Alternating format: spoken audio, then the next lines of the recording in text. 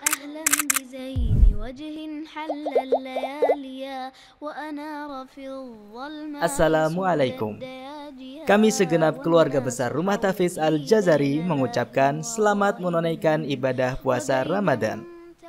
Mari sebarkan kebaikan, mari sebarkan senyuman, mari berpuasa dengan iman agar peroleh ridho Ar-Rahman untuk meraih pintu Ar-Rayyan.